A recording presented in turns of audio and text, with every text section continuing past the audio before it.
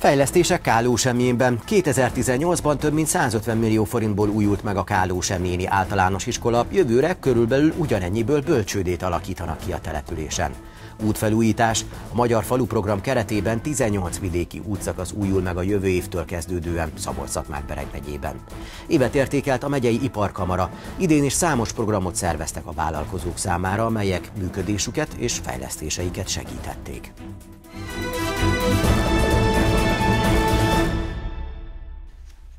2018-ban több mint 150 millió forintból megújult a Kádó Semjéni általános iskola, 2019-ben körülbelül ugyanennyiből bölcsődét alakítanak majd ki a településen. A Kölcsei Televízió iradóját látják, köszöntöm Önöket! Fontos mérföldkő volt a 300 millió forintos szennyvíztelep bővítés és a saját forrásból megvalósult közvilágítás korszerűsítése is a településen.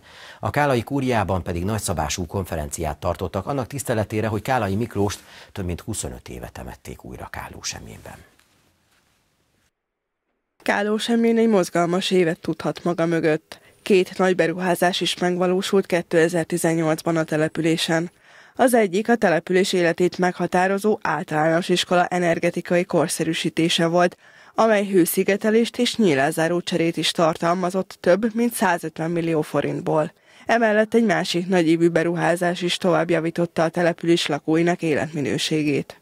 A település életében szennyvíztelep már a 2000-es évek elejétől működik, és a szennyvíztelepünket kinőttük, ennek a fejlesztése is megtörtént, befejeződött, a próbaüzem lezáródott, és egy 300 millió forint értékben 350 köbméteres kapacitásra bővítettük a szennyvíztelepünket. Emellett voltak kisebb léptékű, de igen fontos beruházásaink is. Így a Széchenyi utcán járdát újítottunk, illetőleg építettünk.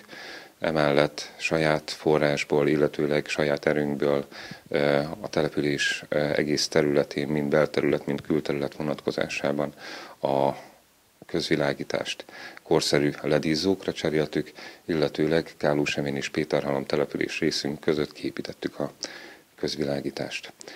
A település életében a fejlesztések mellett egy igen aktív társadalmi élet is zajlik. Itt a legfontosabb eseményünk az mégiscsak a településünknek a falunapja.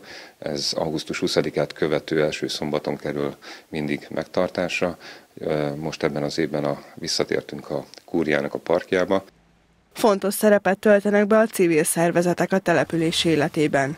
2018-ban például civil kezdeményezésre juthattak ki gyerekek tájföldre robotika versenyre, valamint Moldáviában harcművészeti sikert ért el a település egyik volt diákja. A Kállai Kúriában is számos rendezvényt tartottak, ezek közül a legkiemelkedőbb a Horti család tagjaival együtt tartott konferencia.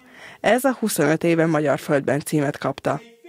A településünk életében a következő év is valószínűsítem, hogy egy igen tartalmas év lesz. Itt az elnyert pályázataink tekintetében talán az egyik legnagyobb év és a legfontosabb a település belterületén a kerékpárútnak a kiépítése lesz. Emellett a 2019-es költségvetésben Káló semmilyen egy bölcsöde kialakítására nyer lehetőséget, és bízunk benne, hogy mi hamarabb ezt a a helybeli lakosok számára meg tudjuk építeni és át tudjuk adni. A kerékpárút több mint 350 millió forintból épül majd meg, míg a bölcsödét 160 millió forintból alakítják majd ki. 18 vidéki útszakasz újul meg a következő évtől a Magyar Falu program keretében szabolcs bereg megyében. Ebből kettő is a hatos számú választókerülethez tartozik. Az egyik az Érpataki bekötő út, a másik az Önböjt nyírbéltekkel összekötő szakasz. Érpatak egy másik jó hírt is kapott évvégén, a közeljövőben ugyanis újra működhet iskola a településen.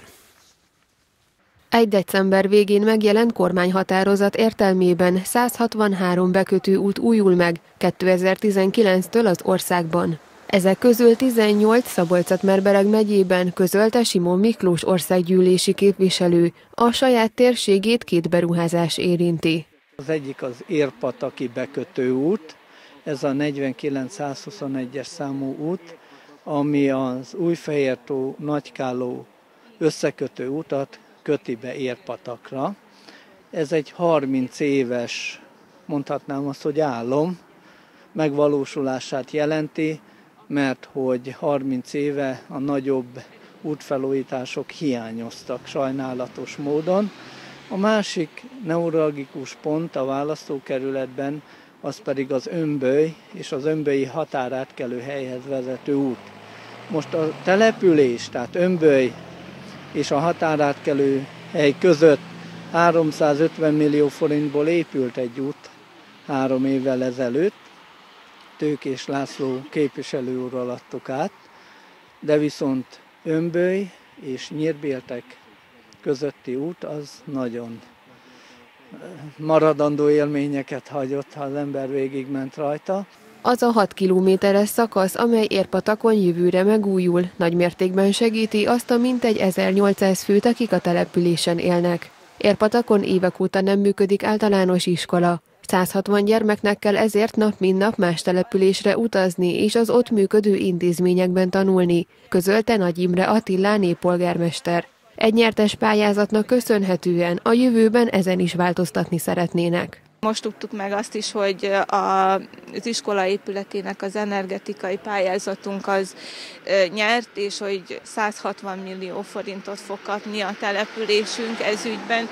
Ennek is nagyon örülünk, mert ugye több éve már nincs iskolánk, vagyis hogy az épületünk megvan, csak a lakói hiányoznak belőle, és a környező települések ben járnak a gyerekeink iskolába, és ez a vezetés szeretné, hogyha hát nem a köz, hát úgy a közeljövőben, hogy öt éven belül legalább az iskolát újra tudnánk indítani, és a gyerekeinknek nem kellene eljárni a környező településekre.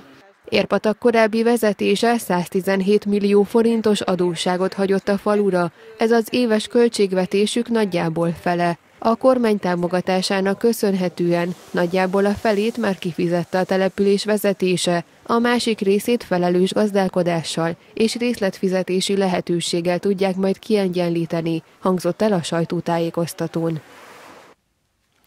40 ezer forintra emelkedik januártól a két gyermekesek családi adókedvezménye, tájékoztatta az Emberi Erőforrások Minisztériumának család és ifjúságpolitikáért felelős államtitkára az MT-t.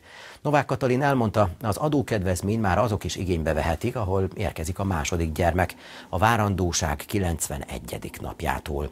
Kifejtette, a családi típusú adózás arról szól, hogy a dolgozó szülők minél több megtakarítást tudjanak családjukra fordítani, minél több pénzt vihessenek haza. Az államtitkár kiemelte, csak a családi adókedvezménynek köszönhetően a jövő költségvetést is számítva már 2250 milliárd forintot takaríthatnak meg a magyar családok. Eredményes és mozgalmas évet zár idén is a szabolcs bereg megyei kereskedelmi és iparkamara. A szervezet fontos szakképzési tevékenységet lát el. Ebben az évben kiemelkedő feladatuk volt, hogy a szakmák európai szintű versenyét, az Euroskills-t hazánkban rendezték, amelynek szervezésében is szerepet vállaltak. A következő év kiemelt feladata egy mentorprogram indítása a vállalkozók számára. A szabolcs már bereg megyei kereskedelmi és iparkamara minden év végén értékeli az elmúlt 12 hónapban elért eredményeit. Ebben az évben számos programot szerveztek a vállalkozók számára, amelyek működésüket és fejlesztéseiket segítik, valamint felhívták a figyelmüket az infokommunikációs eszközök használatára és annak jelentőségére. Utóbbival kapcsolatban tanácsadói hálózatot is működtet a kamara. Ami nagyon fontos volt ebben az évben, hogy beindultak a mester szakmai tagozatok, ezzel kapcsolatban számtalan hasznos tájékoztató rendezmény, szakmai konferencia, workshop került megrendezésre, úgy láttuk, hogy a vállalkozóknak igénye van arra, hogy ilyen kiscsoportos jellegű szakmai tájékoztató előadásokat szervezzünk, és ehhez kapcsolódóan olyan szakmai utakat, felkészítéseket, amelyek a, a továbbfejlődését, a, a mestereknek a szakmai fejlődését segítik. Mindenképpen szeretnénk ezt tovább folytatni, hiszen úgy látjuk, hogy erre nagy igény volt a vállalkozók körében. Ezeken túl jelentős még a megyei iparkamara szakképzési tevékenysége is. Kiemelten például a pályaorientációs feladatai. Általános iskolásoknak szerveznek céglátogatásokat, megismertetik velük egy-egy szakma szépségét, valamint olyan versenyekre viszik a diákokat, amelyekkel a szakmaválasztást próbálják segíteni. Ebben az évben kiemelkedő feladata volt a kamarának, hogy a szakmák európai szintű versenyét, a Euroskills-t idén hazánkban rendezték, ebben pedig a megyei szervezeti szerepet vállalt, illetve több mint 1500 diákot utaztatott az eseményre. Több kiadványt is megjelentett a kamara egy év alatt, ilyen például a hiány szakmákról készült összesítés. A kamarának már a jövő évre is vannak tervei. Szeretnénk ezeket a rendezvényeket még tovább fejleszteni, és lesz egy nagyon új program, amit a Magyar Kereskedelmi és Iparkamara fog koordinálni. Ennek az a neve, hogy Mentor Program, ahol a kis és középvállalkozásokat kis csoportokba tömörítve szeretnénk olyan mentorokat találni, akik segítik az ő üzletvitelüket, a piacra jutásukat, a szakmai fejlődésüket.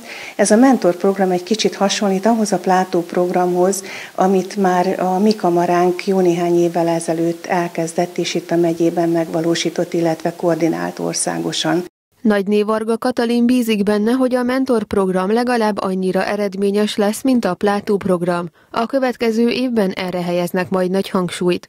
A szolgáltatásokat is bővítik majd az alapján, hogy a vállalkozóknak milyen igényeik vannak.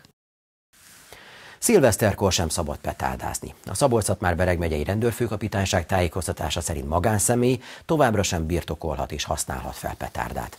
A rendőrség a petárdát birtoklókkal és használókkal szemben szabálysértési eljárás kezdeményez, akik akár 150 ezer forintig terjedő pénzbírsággal sújthatók. A tűzijátékokat a 18 éven felüliek december 28-a és 31-e között engedély nélkül megvásárolhatják, birtokolhatják, tárolhatják, és a használati utasításnak megfelelően december 31-én 18 órától január 1-én reggel 6 óráig felhasználhatják. A szilveszter éjszakai petárdázások és tűzijátékok következtében minden évben több mint 20 otthonról elkóborolt kutya kerül az Állatbarát Alapítvány telephelyére. Az alapítvány munkatársai 24 órás ügyeletet tartanak és segítenek a bajba jutott állatokon. Azonban, ha tudjuk, hogy kedvencünk fél a különböző hanghatásoktól, jobb, ha még az új év előtti napon biztonságos helyre zárjuk. Minden évben már általánosan elmondható, hogy a felhívások ellenére sem elég körültekintőek az állattartók szilveszter éjszaka, így a petárdázások és tűzjátékok hatására nagyon sok állat kiszökik otthonról és nem talál haza. Az Állatbarát Alapítvány menhelyére az évnek ebben az időszakában több mint 20 kutya kerül be, azonban kétszer ennyi gazdi keresi telefonon elcsatangolt kedvencét. Hogyha a nyakkörves a kutyus, akkor egyszerűen csak egy bilétát ráteszünk a kutyusra, a nevünkkel, a lakcímünkkel, a telefonszámunkkal, és ugye az emberek is sokkal szívesebben megállnak egy nyakkörves bilétás kutyus mellett, mint egy semmilyen azonosítóval nem ellátott kutya mellett. Sokkal egyszerűbb, mint hogy állatorvoshoz kellene cipelni, hiszen rögtön ott van a telefonszám, és azonnal tudják értesíteni a gazdit. A másik alap dolog az ugye a chip, ami gyakorlatilag kötelező, de még mindig elég sokat küzdködünk azzal, hogy nagyon sok gazdi nem csipelteti sajnos a kutyáját a törvény ellenére is. Illetve ami még egy különlegesen fontos dolog az az, hogy létezik egy adatbázis, egy rendszer, ez a petveddata.hu. Ezen gyakorlatilag bármelyik gazdi le tudja ellenőrizni, hogy az adatok helyesek-e. Ha a kiskönyvet kinyitják, akkor fognak látni egy 15 számjegyű azonosító számot. Ezt kell az oldalon beütni, ez egy nyilvános kereső, és ki fogja hozni minden, ad- ki fog hozni minden adatot, amire a gazdinak szüksége van. Ha tudjuk, hogy kedvencünk bármilyen erősebb hanghatására érzékenyen reagál, óvintézkedésként jobb, ha még az új év előtti nap egy biztonságos helyre bezárjuk. Amennyiben otthon töltjük a szilvesztert, akkor az esti etetés és az utolsó séta időpontját úgy válasszuk meg, hogy megelőzzük a duroktatás kezdetét, az éjfél körüli kritikus órákat pedig, ha tehetjük, töltsük együtt az állattal. Ha ebbünk nagyon ijedős, ideges természetű, és úgy véljük szavakkal nem tudjuk majd megnyugtatni, forduljunk még az ünnep előtt állatorvoshoz. Sok esetben szükség van gyógyszeres kezelésre. Nagyon fontos, hogy nem humán emberi készítményeket alkalmazzunk, hanem állatorvos segítségét kérjük. Vannak olyan esetek, amikor gyógynövényes készítmények is segíthetik az állatok nyugtatását, illetve ami nagyon fontos, hogy időben elkezdjük ezeket adni, mert akár napokkal, hetekkel a szilveszteri periódus előtt már szükség van arra, hogy elkezdjük kezelni állatainkat, hogy mire elérkezik az év utolsó napja, már nyugodt állapotban tudják ők is tölteni ezt az eseményt. Állatorvosi jó tanács még kutyatartóknak a szilveszteri időszakra, hogy veszi esetén a kutyusok a falka vezérviselkedéséről vesznek mintát. Így, ha a gazdi nyugodt, a kutya sem esik olyan könnyen pánikba. Szerencsét hoz, ha az új év első napján malac, köröm, csülök, fül és farok kerül az asztalra. Tilos viszont baromfihúst fogyasztani, tartják a népi hagyományok. Sokan készítenek még szerencsepogácsát, ami jóslásként szolgál a következő évre, és nem hiányozhat az ételek mellől a pesgő sem. Ez jelképezi a gazdagságot és a fényűzést az új esztendőre. Sok családban szokás szilveszter napján szerencsepogácsát sütni. Ez azt jelenti, hogy a sima pogácsák egyikének közepébe érmét tesznek, és aki azt megtalálja, azt éri majd az új évben a legnagyobb szerencse. Fontos azonban, hogy a pogácsa még az új évben elfogjon. Gombócot is főztek a régi időkben. A hiedelem szerint ezek közepébe papírokat tettek a lányok egy-egy férfi névvel, éjfélkor a forró vízbe dobták, és az elsőként felbukkanó gombóc a leendő férjük nevét árulta el. A szilveszteri és az újévi ételekhez más babonák is kapcsolódnak. Ebéd előtt tököt sütöttek, a töknek sok magja van, és úgy gondolták, hogy aki tököt eszik, annak sok pénze lesz abban az évben, és csak disznóhúst, sertéshúst tettek, még véletlenül sem készítettek csirkéből, baromfiból ételt, mert úgy gondolták, hogy azzal elszáll a szerencséjük. Halat sem ajánlott fogyasztani, mert a karácsonyjal ellentétben ilyenkor elúszik vele a szerencse. Érdemes viszont babot és borsót enni. Ez csak kettő azon alapanyagok közül, amelyek elfogyasztása bőséget, anyagi gyarapodást és szerencsét hoz. Ugyanezt hozzá el nekünk a szőlő, a gránátalma és a füge is. A lencse és a rizs ugyanaz a funkciója, mint a karácsonyi ételek között például a bájglinak, mert az is sok apró szemből áll, illetve a tölteléke, és az is sok pénzt jelent, és ugyanez vonatkozik az újévi teleknél a lencsére, minden, ami apró szemű, sok van belőle, és éppen ezért ez szerencsét hoz, illetve sok pénze lesz a, abban az évben, akkor aki azt megeszi. A pesgő ma már elengedhetetlen kelléke a szilveszternek, sokáig azonban csak a leggazdagabbak itala volt. A kezdetekben egy üveg elkészítése akár három évet is igénybe vett. Az 1850-es évek óta ismert az az eljárás, amelyen hatalmas tartályokban 7-8 ezer palacknyi pesgő is előállítható egyszerre. Ez az italárának jelentős csökkenéséhez vezetett, így ma már szinte mindenki pesgőzik szilveszterkor. A szokás lényege az, hogy ha drága úri italt iszunk az új év első perceiben, a folytatás is gazdag, úri és fényőző lesz.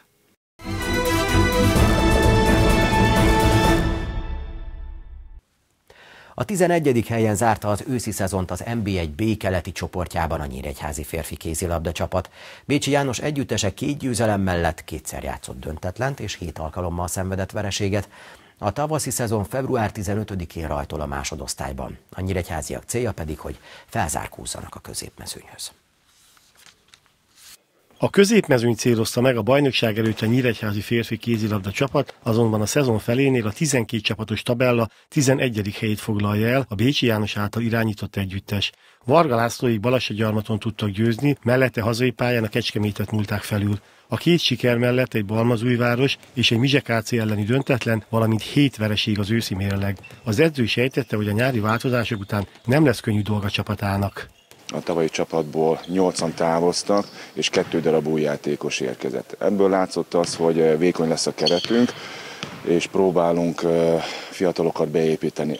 Sajnos a belső poszton nem találtunk olyan fiatalt, aki standard játékos tudna lenni, hosszabb ideig fönn tudna lenni a pályán. Szélen vagyunk idézőjelben erősebbek, mert ott több variálási lehetőség van, és ott megfelelően teljesítenek a, az ifi játékosok. Sajnos ezt el kell fogadnunk, hogy per pillanat az utánpótlásunk nem rendelkezik azzal a játékos állományjal, mint az előző években, és nehezebb a merítése lehetőség. Akik maradtak, összesen 7 darab felnőtt játékos, akivel ezt a szezont végig kell lett eddig játszanunk, és kijött az, hogy egy-két ember nem képes tartósan jó teljesítményre nyújt, teljesítmény nyújtani, abból kifolyólag is egyrészt, hogy ezek a játékosok amatőrök, tehát munka mellett vagy tanulmányaik mellett végzik el az edzéseket, és attól függ, hogy milyen állapotba érkeznek. A nyíregyháziak több meccset is az utolsó percekben szoros végjáték után veszítettek el. Minden mérkőzést az utolsó 5 és 10 percbe buktunk el, ami, ami szoros volt. Nagy vereségeink, ha azt mondom, hogy az utolsó kettőt leszámítva, a, az Orosháza és a Player mérkőzést, akkor végig minden csapattal ott tudtunk lenni, sőt minden mérkőzést vezettünk az 55. percig. Elfáradtunk fejben, elfáradtunk fizikálisan, és akkor az utolsó szituációkban nem tudtak jó döntést hozni. Rengeteg volt a hiba azokban az időszakokban, és ebből látszott az, hogy elbuktuk, hogy elveszítettünk egy-egy pontot. Az utolsó két mérkőzést azért nem tudom konkrétan értékelni, mert sajnos ebből a hét játékosból három sérült volt.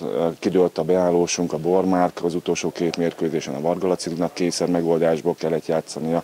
A Takács Zelen kidőlt, őt nehezen tudtuk poptonni, tehát az ő gyors lábmunkája, ami védekezésbe előnyt jelentett az előző mérkőzéseken, az hiányzott, illetve folyamatosan voltak sérültjeink, a Gubó Alex, a Kurbei Laci, a Szűcs Balázs, aki két-három mérkőzéseken igen kevesebbet kellett, hogy játszon, illetve kevesebbet tudott vállalni. Mivel a cél továbbra is a középmezőny, a téli szünetben érkezhetnek játékosok a nyíregyházi csapathoz. Szeretnénk a csapatot megerősíteni, kellene igazolnunk két-három felnőtt játékost, aki érett és tapasztalt, aki tud segíteni jelen körülmények közt a csapaton, mert szükség van a rutinos játékosokra. A fiatalos lendület az nem mindig elég. Abból kifolyólag, hogy nincs átmenet a két korosztály közt, tehát nincs meg az a 23-4-5 éves korosztály nálunk, akiből lehetnek két-három játékos, hanem van egy nagyon fiatal, egy 17-18 éves, meg van egy 30 év környéki vagy a fölötti mag. Ehhez kellene nekünk a köztes megoldást megtalálni, odaigazolni két-három játékost. Az NB1B-ben február 15-én kezdődik a tavaszi szezon. A nyíregyháziak a nyitányon Debrecenben lépnek majd pályára. Most pedig híradók végén nézzük legfontosabb híreinket még egyszer röviden. Káló semmilyen mozgalmas évet tudhat maga mögött. 2018-ban két nagy beruházás is megvalósult a településen. Több mint 150 millió forintból megújult a Káló Semjéni általános iskola, jövőre pedig körülbelül ugyanennyiből bölcsődét alakítanak majd ki.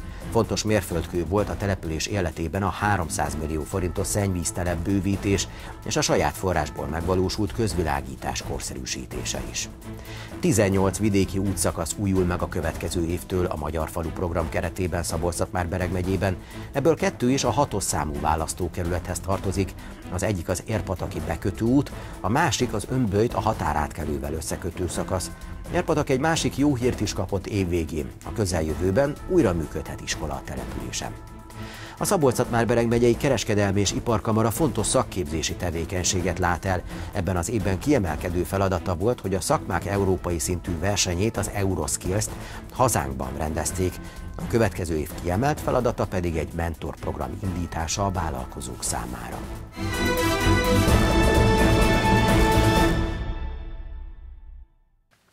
Önök a Kölcsei Televízió híradóját látták december 28-án pénteken. Friss hírekkel legközelebb hétfőn este várjuk majd Önöket, hétvégén pedig heti hírösszefoglalunkat, a krónikát láthatják. Tudósításainkat internetes oldalunkon addig is elérik. Én kollégáim nevében is köszönöm figyelmüket, viszontlátásra!